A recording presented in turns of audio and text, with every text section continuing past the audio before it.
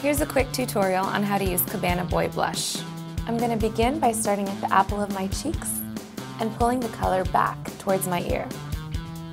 Make sure to build this in layers so you don't have too much blush all at once.